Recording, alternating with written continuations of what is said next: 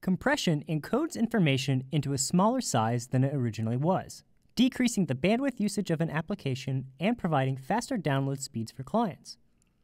We'll be adding compression to our Express server with the help of the compression middleware. In this tutorial, we'll enable compression for our Express application in order to compress all responses returned by the server. We'll also use our browser's dev tools to check the response sizes before and after we enable compression to see the effect that compression has. Adding compression with Express is fairly straightforward. But first, let's check the current size of responses from the server as a baseline. Let's start the server with our dev script. Once the server is running, open a browser window to localhost 3000 planets. Open your browser's DevTools to the Network panel. I'm using Chrome as my browser on a Mac, so I can right-click and select Inspect or hit the keys Command-Option-J. Select the Network panel once your DevTools window is open. While it's open, do a hard refresh of the page, which on Mac is Command-Shift-R and on Windows is Control-Shift-R. Also, make sure you've selected the tab All under the Network tab. Once the request is completed, take a look at the size column for the slash planets page. It's somewhere around 800 kilobytes.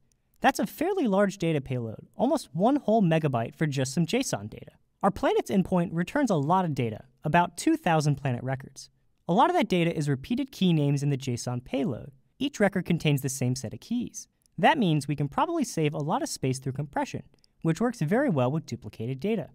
To enable compression, we're going to use the Compression Express middleware. We need to install it from npm first, so open up a terminal window and run npm i compression. In our server's index.js file, we'll require the compression package and call the returned function while passing it into app.use. This enables compression at the application level, which will compress responses for every route in the Express application. That's actually all you need to do to enable compression with Express. If you need to fine-tune the details of what is compressed and how, you can check out the compression documentation on NPM to see all the available options. We don't need any customization, so let's see what effect this has on our planet's endpoint.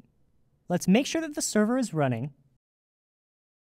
and then open the browser back to localhost 3000 slash planets. Do another hard refresh and wait for the request to complete.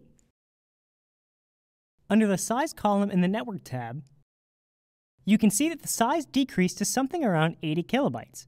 That's a huge savings from the original uncompressed size of about 800 kilobytes, especially for what was essentially a single line change to the application. Now, each unique payload will vary in how much space compression saves but most payloads will benefit from compression. Notable exceptions, though, are files which have already been compressed, like images or video files. They typically won't see any further benefit from gzip compression. If you click on the slash planets request itself in the Network tab,